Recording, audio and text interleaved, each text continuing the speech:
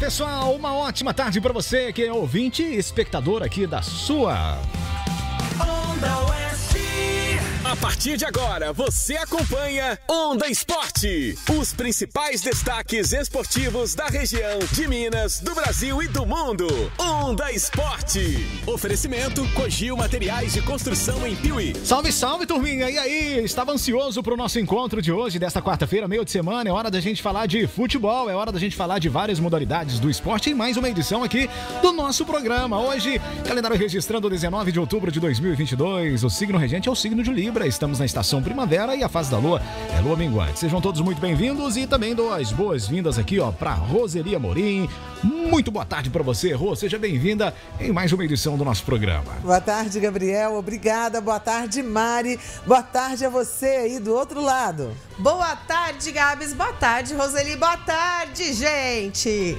E aí, animadas pra gente poder falar aqui do esporte em mais uma edição do nosso programa? Eu tô animada e tô também apreensiva, porque hoje à noite a coisa vai pegar, viu? É, hoje o negócio, vai, a panela vai esquentar e o molho vai aquecer. Ah, viu? hoje É. só não pode entornar o caldo. Só não pode entornar, mas quente, mas já acho que já tá, viu, Mari? Vixe, Maria. Bom, e eu quero falar também pra você de outra coisa que tá quente, viu? Que é a promoção show de bola aí da Cogil Materiais para Construção e Acabamento. Prepararam uma promoção muito bem bolada pra você que tá construindo, meu amigão. É, minha amiga tá aí preparando aquela cozinha, falando, hum, Gabriel, não vejo a hora de ficar pronta. É, mas pra ficar, pra ficar pronto e perfeito, você tem que levar um material de qualidade, né, Mari? Com toda certeza. E aí, você que tá construindo, sempre falta alguma coisa. A gente sempre precisa fazer compras, né?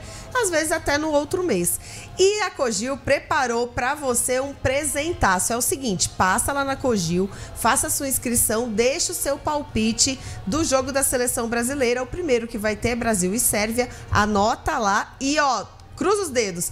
Se você acertar o placar, concorre a 25% de desconto nas compras do seu próximo mês. Então imagina só, quando você for fazer compra na Cogil, você já tem ali ó um vale de 25% de desconto. É aquele bônus pra você, Poxa, bom demais. É sensacional. Roseli Amorim, ó, tem que ter qualidade, mas tem que ter preço justo. E quando rola uma promoção dessa, você não pode perder tempo, tem que aproveitar, não é? É isso aí, tem que ficar de olho no lance e aí prestar atenção, ver o que, que você acha que o Brasil vai ganhar da Sérvia ou não Aham. e marcar lá, cadastrar o seu palpite. É não pode perder. Que beleza! De olho no lance, mostra que você é bom de construção e é bom de seleção também. O guerreiro dos gramados. O Cruzeiro é guerreiro dos gramados, mas ontem não, ontem não representou não, viu, Roseli? O negócio deu ruim aí pro Cruzeiro ontem. E nós erramos nosso palpite, Mais né, uma Gabigol? vez, nossa senhora. Eu acho que eu acertei o meu, viu? Então, ontem o Cruzeiro recebeu o Guarani no Mineirão pela 36ª rodada da segunda divisão. O jogo foi cheio de polêmicas, mas começou equilibrado. Até a metade do primeiro tempo, poucas chances de gol. Aos 32 minutos, na saída de bola da defesa do Guarani, Lucas Ramon estava com a posse e Daniel Júnior chegou para marcar.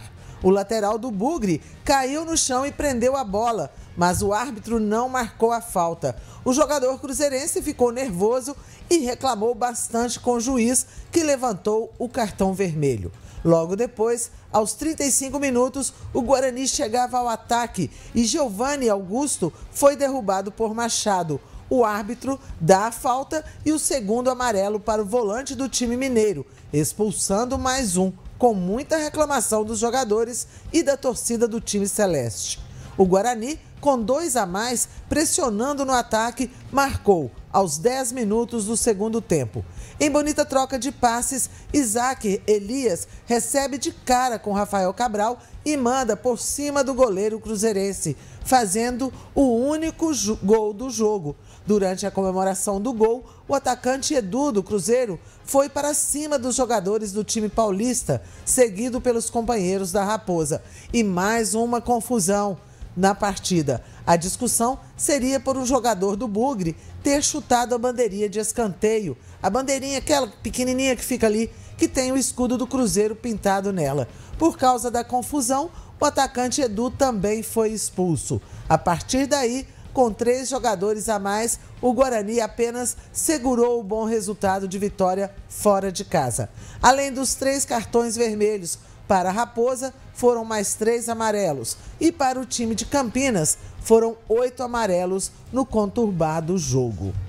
Eu vou falar pra você, viu, velho? Eu achei que aquele primeiro cartão vermelho ali foi desnecessário. O cara tinha que ter aplicado um cartão amarelo, advertido verbalmente. Agora, aplicar diretamente o cartão vermelho por reclamação, velho. A gente assiste futebol internacional, a gente vê como que funciona. Tem faltas que você fala, poxa, esse cara vai ganhar um cartão vermelho. E o, aí o árbitro vai lá e adverte verbalmente a pessoa, fala, ó, próxima vez que tu fizer isso, tu vai levar um cartão amarelo, ou tu vai levar um cartão vermelho. Agora, contra o Cruzeiro, a parada foi diferente, né? O juiz resolveu aí, né, é, tirar o vermelho do bolso e advertir aí e expulsar o jogador cruzeirense. É, muito, muito chato, né? Poxa, tem que ir com calma, conversar numa boa, ouvir. O árbitro também tem que ouvir os jogadores. Poxa, às vezes ele perde um lance, né? Igual esse aí do jogador do Bugre ter prendido a bola aí, ter caído e prendido a bola. Então, acho que, que, tem, que ter, tem que haver aí uma calma, tanto entre os jogadores quanto também entre o árbitro aí,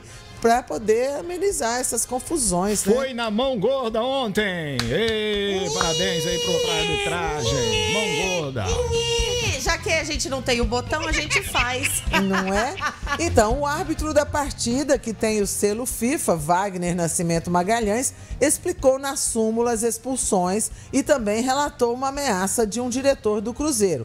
Abre aspas. Informo que, ao término do primeiro tempo, quando a equipe de arbitragem se dirigia aos vestiários, na saída de campo, fomos interceptados pelo senhor Henrico Ambrodini, funcionário do Cruzeiro, nos dizendo as seguintes palavras: Se acontecer algo de ruim aqui, a culpa é de vocês. Vocês são os responsáveis.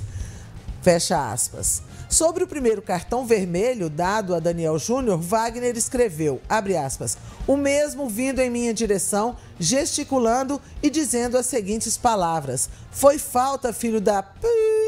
Me senti ofendido em minha moral e honra. Fecha aspas. O meio-campo Machado, que foi a segunda expulsão, recebeu o primeiro cartão amarelo por reclamar da expulsão de Daniel Júnior. Logo depois, recebeu o segundo por uma falta próxima à área cruzeirense.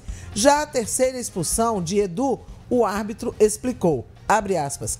Expulsei de forma direta, por na comemoração do gol da equipe adversária, o mesmo sair do seu banco de suplentes e correr em direção aos seus adversários que comemoravam o gol, agarrando a camisa de forma agressiva de um adversário, dando início a uma confusão. Fecha aspas. Depois do jogo, o expulso, Edu, falou sobre as decisões do árbitro. Abre aspas. De coração, no meu caso, eu merecia a expulsão porque peguei na camisa do Giovanni Augusto. É um absurdo o cara fazer o gol, dar um bico no escudo do clube e não receber nenhuma punição. Fecha aspas. Na verdade, o jogador do Guarani, que chutou a bandeirinha de escanteio, recebeu o cartão amarelo depois do lance. É, devia- Lamentável. Devia, ter recebido o cartão vermelho, porque é o seguinte: ele chutou a o escudo do Cruzeiro, a bandeira ali. E outra coisa, o Cruzeiro tá representando o outubro rosa. Então tava lá com a. Então é duas coisas numa, levanta aí uma- o- um peso maior. Então ele foi lá e chutou tudo isso aí. Eu acho que ele devia ter merecido. Ele me- merecia ali o cartão vermelho diretamente. Eu acho, na verdade, de tudo isso, que é uma cena deplorável, sabe?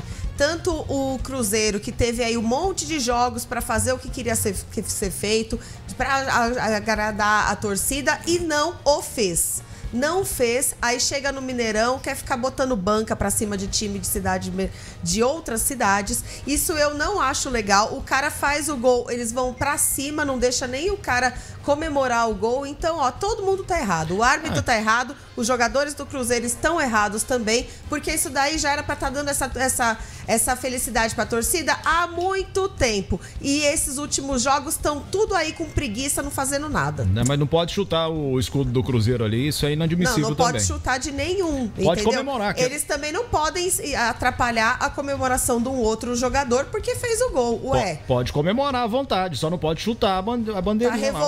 Revoltadinho, bem, vai lá e faz o seu gol. É, Uai. não, É, ué, tá revoltadinho, vai lá e faz. Eu não tô- eu não tô revoltado, só Não, acho que- não, não tô Não, falando não é com você, você não. não, não. os jogadores Nossa, não é você não, Gabi. Tô, revo- tô revoltado, tô revoltado sim com Não a é derrota do não. Cruzeiro, mas eu acho inadmissível a pessoa aí comemorar o gol chutando o escudo ali do time. Isso aí, eu acho que tanto o time do Cruzeiro quanto a torcida acha isso uma coisa inadmissível aí. Agora, pode comemorar, o gol é deles lá, vai comemorar à vontade. É, não, mas é só pra deixar claro que eu não tô falando de você, Tá não. Eu quis dizer os jogadores, é, entendeu? jogadores Ao invés de ficar bravo, vai lá e faz gol. É pra isso que vocês são pagos, é pra isso que tem um monte de gente andando atrás de vocês o dia inteiro pra vocês fazerem isso. É, assim. ruim, né? Porque ficou aí umas Ficou confusões. feio. Foi um e, jogo que era assim, pra ser feliz e o jogo ficou feio. E fica dando um exemplo aí pras torcidas, né? Depois não pode reclamar que as torcidas estão aí agressivas, brigando, recebendo mal os visitantes. Não é por aí, né? Eu acho que, que tudo tem que ter calma, conversar e aceitar. Se foi a derrota, poxa. Aceitar, né? Tem outra Não- coisa também, E o outro gente- respeitar também os clubes e não sair chutando os É, negócios. a gente sabe também que quando a pessoa começa a perder, a gente fica nervoso, né? Atrapalha, o jogador tá lá tentando dar tudo de si. O é- árbitro errou também, isso também irrita os jogadores. Só que tudo lá são dois pesos e duas medidas. A partir do momento que você vai pra cima, você tenta fazer a pessoa ficar coagida no ambiente de trabalho dela, isso também não é, não é respeito. É isso aí. Antes da gente partir aqui pro, pra falar do, do Atlético, eu vou resumir essa partida do Cruzeiro de ontem, que foi, na verdade, uma série de erros que aconteceu. Tá joia? Bora falar do galão da massa!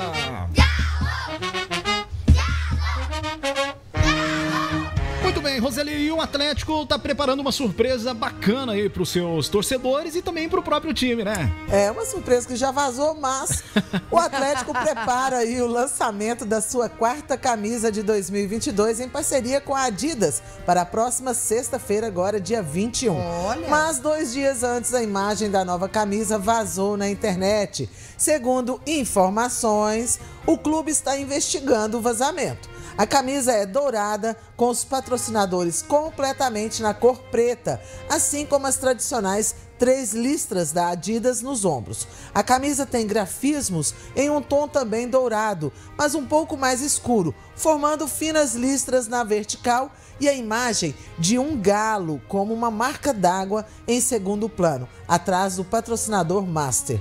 O manto será comercializado a partir de sexta com preço de sabe quanto, Gabriel? Quanto? Ah. 299 reais Nossa! nas versões masculina e feminina, viu, Mari? E 249 reais nas versões infantis. Ainda não há previsão do time utilizar o novo lançamento em campo. E vai lançar na sexta, sábado já tá cheio de xing ling vendendo. Por R$ 39,90. Ó, vou te falar, ficou bonita a camisa, hein? Ficou. Pena que na foto não dá pra ver os detalhes é- dourados, é, né? Olha lá. É, Muito mas dá pra ver o mesmo. galo, ficou muito bonito esse símbolo, viu? É isso aí. Será que esse galho é aquele do pescoço pelado? Não, senhora, lá, ó, cheio das penas lá, ó. Pena, tem Esse é pena. galo índio brigador, É, rapaz. isso aí. Isso mesmo. Quem Pois é. pensa que eu entendo de galo, né? Eu confesso que eu achei que o valor tá um pouquinho alto aí para para É. tempo, para esses tempos que a gente vive aí, Roseli, a questão de financeira, Imagina. 249 reais. Se não for Então, uma 209. família com quatro cruzeirenses, é, quatro atl- atleticanos, você imagina. É, mas quatro Quanto cruzeirenses capazes que compra também é mentira. Deixa eu te falar. O negócio é o seguinte: são dois. São dois. Duas equipes de torcedores. Sei. Né? Aham. Tem os mais abastados que podem comprar essa aí de 299. 299. E os menos, como a gente, vai lá no Xing Ling e compra de Xing Ling. R$39,90, Não. né, É Mari? isso mesmo, ainda come um pastel de carne, queijo e flango. E Isso flango, mesmo. e E catupiry. suco lança. Suco lança. 249 a outra, as versões pras infantis para as isso. crianças. É, É, tá um meio- pouquinho salgado, eu achei. salgado. Um pouquinho salgado. Deve, fazer aí promoções ao decorrer do ano aí, enfim. Mas eles 200 lançaram numa época boa também, chegando o Natal, né? É, pode A dar de criançada presente. vai querer, com É. certeza. E deve também ser um material bom, né? Pelo preço, deve ser um material Ah, com bom. certeza. Então, e a situação do Atlético é contrária à do próximo adversário, o Fortaleza. Na 17ª rodada do Campeonato Brasileiro, o Atlético estava em segundo lugar, enquanto o Fortaleza estava na penúltima colocação. 13 jogos depois, o Galo caiu para a sétima posição e o Leão subiu para a nona, podendo ultrapassar o Alvinegro na próxima rodada, caso, caso o vença no confronto né, na próxima segunda. Considerando os 13 jogos do retorno, o Atlético tem 38% de aproveitamento. São 15 pontos conquistados em 39 disputados. O Fortaleza tem 74% de aproveitamento no mesmo período, com 29 pontos nos mesmos 39 em disputa. Na tabela do segundo turno, o Galo estaria em 15º e o Leão em segundo. O zagueiro Gemerson comentou sobre o sentimento dos jogadores pelo momento atleticano. Aspas, todo mundo está incomodado. Ninguém gosta da situação que está passando. A gente sabe da nossa qualidade. Sabemos que poderíamos estar lá em cima, brigando pelo título. É triste. Particularmente, nós, jogadores, sentimos muito isso. Isso deixa o clima ruim, é um clima de tristeza. Fecha aspas. É, É triste mesmo ver o Galo nessa situação, né? Um time que fez tudo, né? Ganhou quase que tudo no, no ano passado e agora em 2022 tá lutando aí para chegar à Libertadores. A gente fica triste aí realmente. Mas é isso aí, o Galo tem que ganhar, tem que entrar em campo, dar tudo de si, né? E vencer esse próximo jogo aí, então. É verdade. Tá numa situação bastante complicada, né? O Galo já faz algumas rodadas e é, já algumas- faz algumas muitas rodadas. nessa sétima, né? Pois é, Posição. né? E, tomara que não caia mais, né? Pelo É, menos. mas tem que subir, senão não vai participar de nada, né? É verdade. Tem isso também, né? E fora tem a parte financeira também, né? É. Então, a gente torce aí então para que ele ganhe do Fortaleza, né? E, tor e vamos torcer também pro coelhinho lá, o o Ameriquinha. Hum. Ameriquinha não ganhar, pra não, pra não vir é, ameaçar o Galo, né? E torcer aí pro Galo fazer bonito segundo, na próxima segunda-feira contra o Fortaleza. É, É gente, quando precisa ficar, ficar torcendo pro outro time, aí é complicado, né, Gabs? Aí é fria, meu amigo. Então, Nossa senhora. vamos ver se o Galão vai subir nesse elevador ou se ele vai descer, né? Não Ó, pode- mas na hora que você vê aqui eles falando, olha, que se fosse ao contrário, o Fortaleza estaria em segundo e o Galo em décimo quinto, você vê o quanto o desempenho do Galo caiu. É verdade. É isso aí. Então, ó, Galão é obrigado a vencer. Senão, meu amigo, o elevador vai descer e aí já era, meu querido. Bora, Isso aí. gente. Anima aí, viu, tor É. ô, torcedor, ô, torcedor atleticano? Vamos lá torcer e arriba, queridão, porque senão, ó, você já sabe.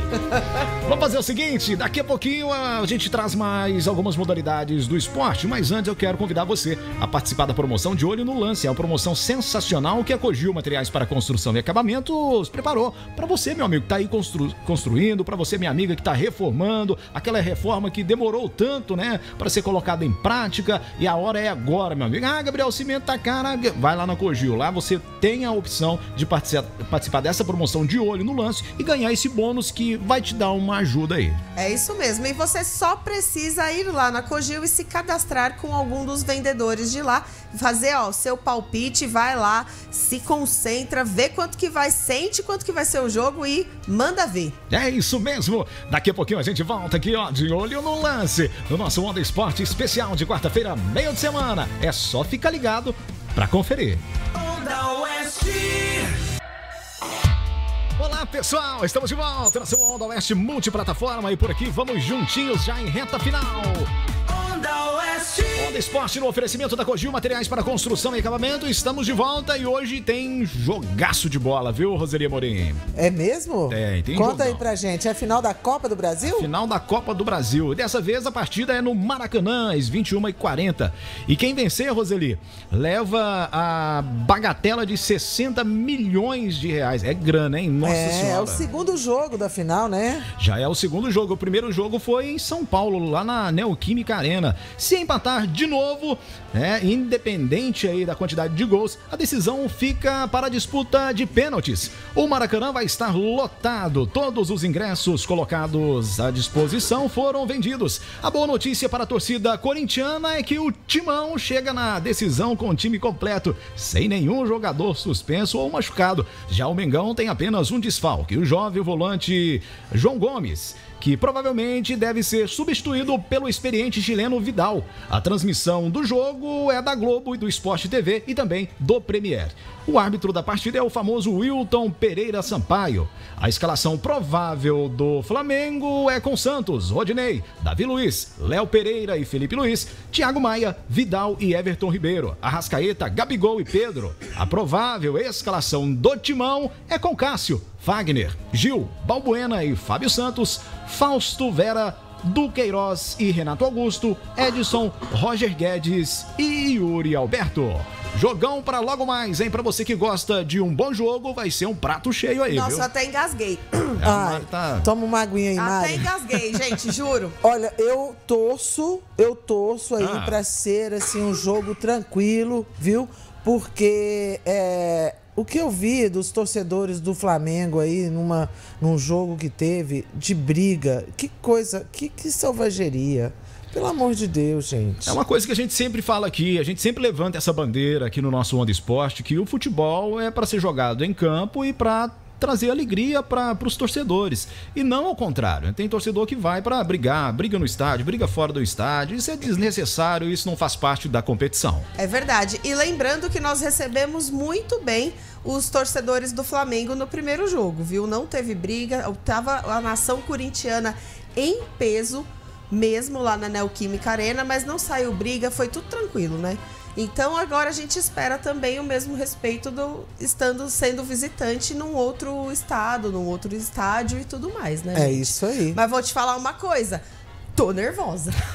Que jogar. Vai ser um jogão. Para você, Roseli, Nossa. qual o placar para esse jogo? Ah, eu não tô acertando tanto nos meus palpites, né? Mas deixa eu ver aqui. Ah, eu acho que vai dar. Ah, a cara da Mari pra mim.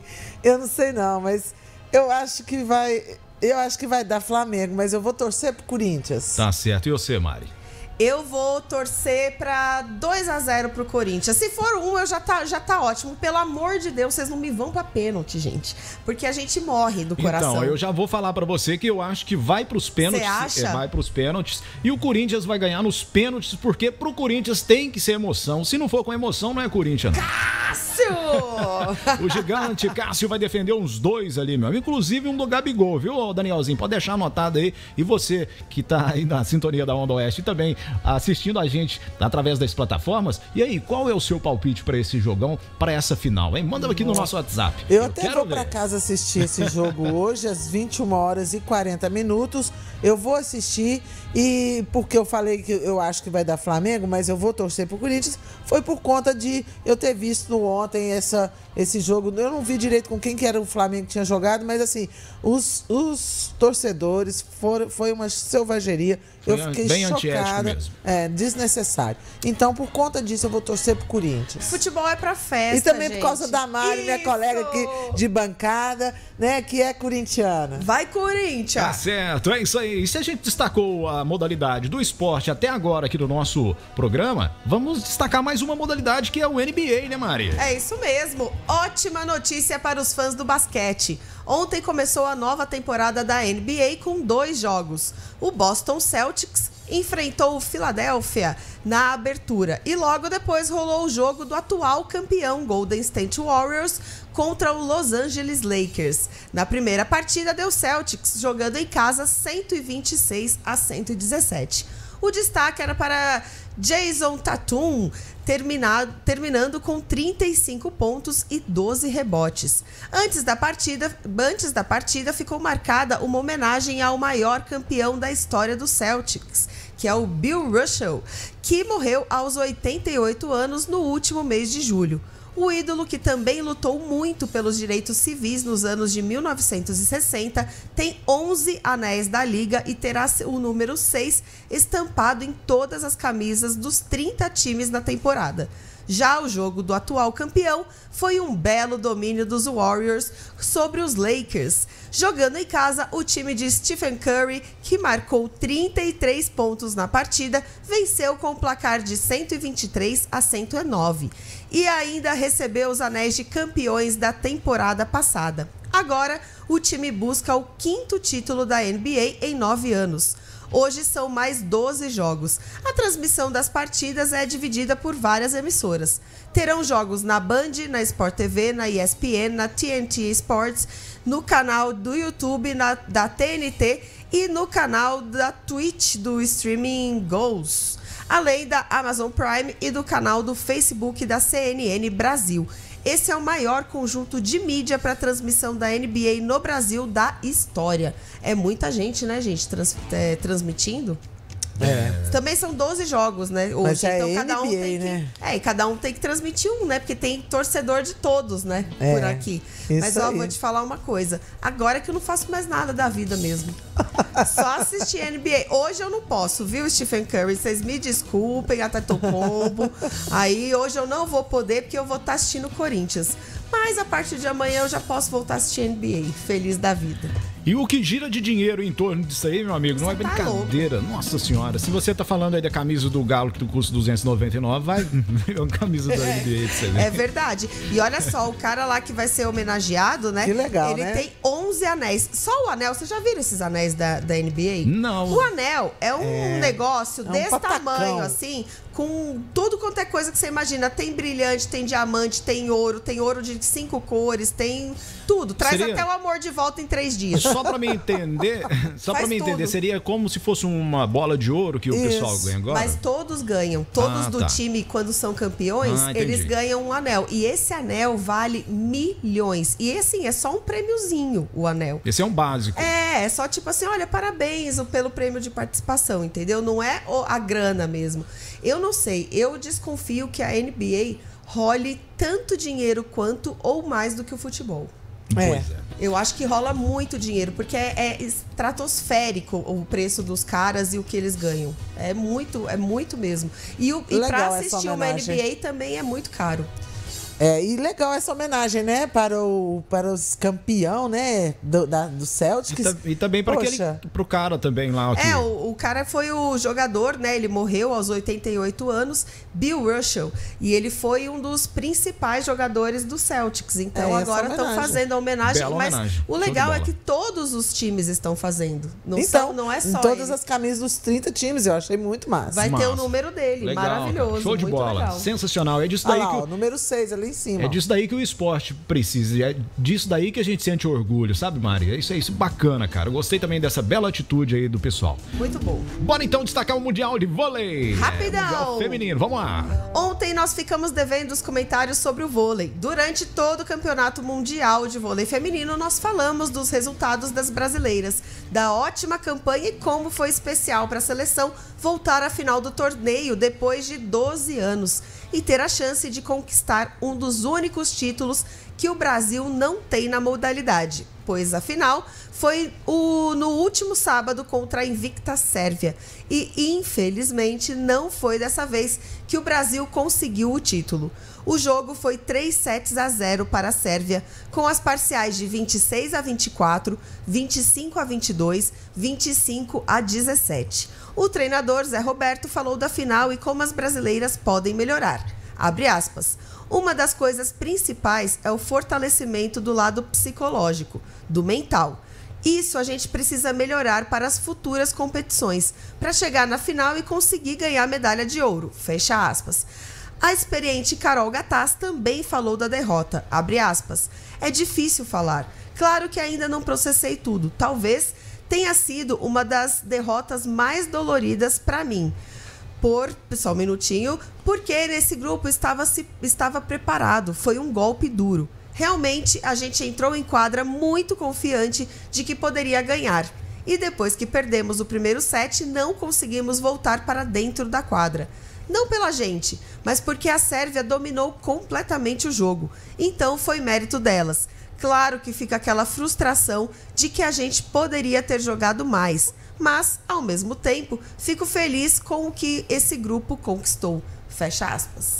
É, fizeram. A temporada foi legal pras meninas. Só Foi. esse jogo aí que deu ruim, né? É, e eu não sabia que a Sérvia tinha aí essa tradição Nem aí eu. no vôlei feminino. Nem eu, e eu sempre eu acho assisto que é um vôlei. azarão, né? Deve ser. Olha, as Poxa. meninas perderam no campeonato todo dois jogos. O primeiro pelo, pro Japão, que depois elas ganharam do Japão, e perderam o segundo na final. É muito, é muito, é muito triste E a pra Sérvia elas, estava né? invicta, Tava estava invicta. invicta. então Campeonato todo. muito triste, mas ficou aí com a medalha de prata, né? Isso. não ficou com a de ouro, Mas nós somos prata. campeãs olímpicas duas vezes. Então, Então, pronto. né? É isso aí. Vai ficar faltando esse título aí, mas o ano que vem a gente conquista. Isso. É, contra a Sérvia tava invicta. Tava. Estava invicta no campeonato.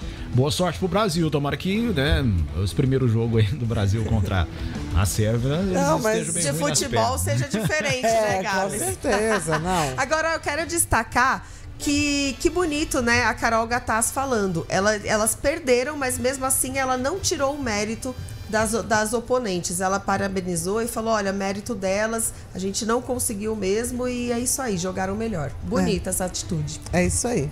É isso aí, pessoal. Olha só, no finalzinho do nosso programa, pessoal, inde- independentemente do time que eu torço, ou que a Mari torce, ou que a Roseli torce, a gente gosta de ver o bom futebol. A gente gosta de ver o futebol dando exemplo. Por quê? Porque o futebol é uma coisa para família, para amigos juntos, né? Compartilhar os bons momentos. Não importa se o seu time perde, né? Perder é sempre ruim mas que você possa trazer isso de se- possa ser exemplo aí para os seus amigos, para os seus familiares e que você possa dar o seu melhor aí não em campo, mas ali torcendo para o seu time, tá bom? Então é isso, chegamos ao final de mais uma edição do nosso Onda Esporte, claro, no oferecimento da Cogil Materiais para Construção e Acabamento, que tá dando um show com essa promoção, Roseli. Um abraço, Gabriel. Obrigada pela companhia. Obrigada, Mari. Obrigada a você que ficou aí juntinho com a gente nessa meia hora aí falando de esporte. A gente volta amanhã, meio-dia e meia. Valeu, Gabs. Valeu, Roseli. Quero deixar aqui minhas desculpas pelo mal entendido. Não falei do Gabriel, pelo amor de Deus, gente. Jamais falaria isso pra ele. Hoje tô atacada, então, ó, um beijo pra todos vocês. Muito boa tarde. Aproveitem o dia. Valeu, pessoal. Um grande abraço para você que é ouvinte aqui do nosso Onda Esporte e também espectador através das plataformas aqui Onda Oeste. Vem aí o André Pança aqui no Tamo Junto. E para conferir, Gabrielzinho, como é que faz?